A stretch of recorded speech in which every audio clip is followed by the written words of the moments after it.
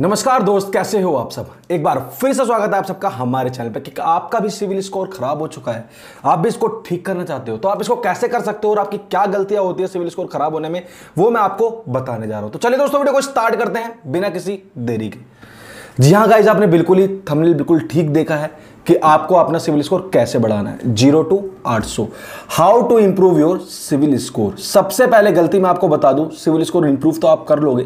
मैं आपको बताया था कैसे होगा। ज़्यादा नहीं नाइन्टी डेज़ के अंदर आपका हो जाएगा। डोंट वरी फ़िलहाल मैं आपकी गलतियाँ बता दूँ, आप गलती कहाँ पे करते हो? सबसे बड़ी गलती आपकी होती है, आप टाइम टू टाइम ईएमआई नहीं पे करते। आपका एक क्वेश्चन उठ जाएगा यहीं पर कि भाई साहब लॉकडाउन में हमारे पास कोई इनकम नहीं है। हम पेमेंट कहाँ से करें? ज़ाहिर सी बात, बिल्कुल करेक्ट क्वेश्चन की इनकम नहीं है तो हम पेमेंट कहाँ से करें? इसमें गलती हमारी भी नहीं है। इसमें गलती सारी बैंक्स की है कि वो आपके अकाउंट में बाउंसिंग लगा रहे हैं, जिससे आपको परेशानी हो रही है और जिससे आपका सिविल स्कोर खराब हो रहा है। क्रेडिट हिस्ट्री आपकी खराब हो रही है। क्यों? वन टाइम पेमेंट जो आपका हमेशा आता है, चाहे आप कहीं भी चेक कर लो सिविल डॉट कॉम पर बैंक बाज़ार डॉट कॉम पर वहीं आपकी दिक्कत हो जाती है कि आपकी हिस्ट्री खराब होती है कि आपको आगे जाकर लोड नहीं मिल पाएगा। तो ऐसा बिल्कुल नहीं है कि आपका सिविल स्कोर ठीक नहीं होगा। होगा भाई, ज़रूर होगा। सब्र करो, सब होगा।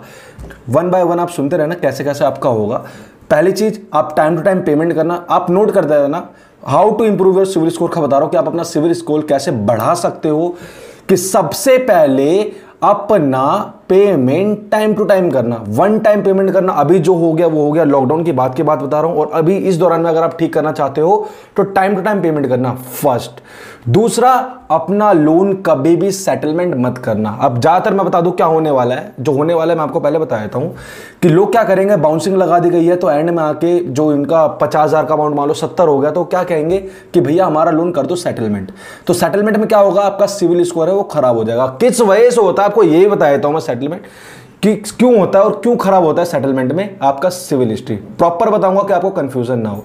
आपने बैंक से लाख रुपए लिए। लाख रुपए लिए जी आपने, उसमें से पचास हज़ार पे कर दिए, बच गया आपका प्रिंसिपल पचास हज़ार रुपए। अब जैसे आपका पचास हज़ार रुपए इंटरेस्ट इसमें इंक्लूड है, ये मत समझना कि भाई मैं आपको लाख रुपए का बैंक आपसे लाख रुपए लेता नहीं, एक लाख बीस हज़ार भी लेता मान लो आपके पचास हज़ार रुपए बच गए।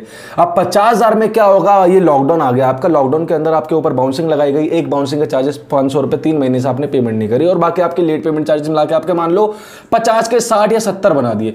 जो कुछ लोग होंगे वो क्या करेंगे, उसको वेव ऑफ़ करवा देंगे किसी किसी का बैंक तो वेव ऑफ़ कर देगा किसी किसी का बैंक मोरिटोरियम दे देगा। अगर वो नहीं देंगे तो क्या होगा? आपका जो सिविल है, हर बाउंसिंग पे आपका खराब होते जाएगा माइनस होते जाएगा। और जब ये माइनस होते जाएगा तो आपकी क्रेडिट हिस्ट्री पूरी खराब हो जाएगी। तो यहीं पे कस्टमर क्या करते हैं? ये सोचते हैं कि भैया, जब हमारा सिविल खराब ही हो चुका है तो अब हम इसको पूरा पे करें ही क्यों? तो यहाँ पे वो सेटलमेंट करवा लेते अगर आपने भी ऐसा किया है तो मुझे कमेंट में ज़रूर बता देना भाई। तो मैं अगली वीडियो ये भी बता दूँगा सेटलमेंट के बाद आप कैसे अपना सिविल स्कोर ठीक कर सकते हो। तो अभी हम फ़िलहाल ये बात कर लेते हैं कि how to grow your CIBIL score ये सेटलमेंट वाले की भी बात है, इसमें वो भी इंक्लूड है।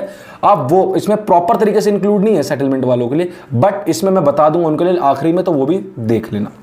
पहला, कि आप टाइम टू टाइम पेमेंट करना। दूसरी, कभी भी अपना ईसीएस बाउंस मत करवाना भाई। ईसीएस बाउंस मत करवाना। तीसरा लोन सेटलमेंट अपना कभी भी नहीं करना आपको। लोन सेटलमेंट आपको कभी भी नहीं करना। वेव ऑफ़ ले लो बैंक से, वो अच्छा है, जो आपके ऊपर इंटरेस्ट पेनल्टी लगाई गई है, वो वेव ऑफ़ करवा लो। वो अच्छा है कि आपका सिविल खराब ना हो, उनके साथ साथ एक लेटर ज़रूर ले लेना फोर क्लोज लेटर जो आपका, सिविल क्लियरेंस लेटर आता है आपका, वो ज़रूर ले लेना, जिससे आपको कोई प्रॉब्लम ना आए, कि कल को कोई आपके ऊपर क्वेश्चन मार्क खड़ा ना कर दे भाई। कि आपने पेमेंट कब करी? ऐसा होता है कि पेमेंट लेने के बाद भी आपको बोला था, आपके इतना पैसा बाकी है। तो ऐसा नहीं। अगर आप कोई वेव ऑफ़ करवा रहे हो लोन तो वहाँ पर ज़रूर अपना लिखित में एक लेटर ले लेना कि आपको कोई दिक्कत ना आए। ठीक है? तीन बता दिए। अपना अकाउंट मेंटेन करके चलो। और अगर आपकी कोई, अगर कोई बिल पेमेंट आप करते हो बिल पेमेंट अगर आप करते हो तो उसको टाइम टू टाइम करो। ठीक है? अगर आपने छोटा सा भी लोन लिया है, छोटा सा भी लोन लिया है तो उसको टाइम टू टाइम पे पे करना है। बिल्कुल time to time pay. Better your credit score by taking loan with a long tenure मतलब अगर आप, आपका क्रेडिट स्कोर अच्छा होगा तो आपको लंबे समय तक के लिए लोन दे दिया जाएगा। ये आपके बेनिफिट है। कि आपका लोन ठीक होने का बेनिफिट क्या होता है? तो जो चीज़ चीज़ बता दी है, अब एक चीज़ और याद रखना कि जिसका सेटलमेंट हो चुका है, और वो सिविल स्कोर ठीक करना था तो वो क्या करे? तो भैया, सबसे पहले अपने अकाउंट में करवाओ एफडी एफडी के अगेंस्ट आपको मिलेगा एक कार्ड क्रेडिट बिल्डर कार्ड उस कार्ड को आप यूज़ करो अपने सिविल स्कोर को बढ़ाने में। दो से तीन महीने के अंदर आपका सिविल स्कोर ठीक हो जाएगा। और आपको एक चीज़ बता दूँ, सिविल स्कोर अपडेट होने में 45 दिन का टाइम लगता है मेरे भाई। पैंतालीस दिन का आप जैसे जैसे पेमेंट करते रहोगे, आपका अपडेट होता रहेगा। इसलिए मैंने कहा नाइन्टी डेज़ के अंदर आपका जो सिविल स्कोर है, वो पूरा ठीक हो जाएगा। कुछ लोग क्या करेंगे लॉकडाउन के बाद वन टाइम पेमेंट सारा ही एक बार में दे देंगे तो भाई उनके लिए बहुत ही बढ़िया है। लेकिन जब भी आप पेमेंट करो तो अपना लिखित में लेटर ले लेना कि आपको कोई समस्या ना आए, बिल्कुल। भी ठीक है भाई? अगर आपको ये डिटेल्स अच्छी लगी, अगर आप चाहते हो कि मैं न्यू वीडियो किसी और चीज़ के ऊपर भी बनाऊँ तो प्लीज़ चैनल को सब्सक्राइब कर लेना और बेल आइकन ज़रूर प्रेस कर देना जिससे आपको कोई प्रॉब्लम ना आए, समस्या ना आए।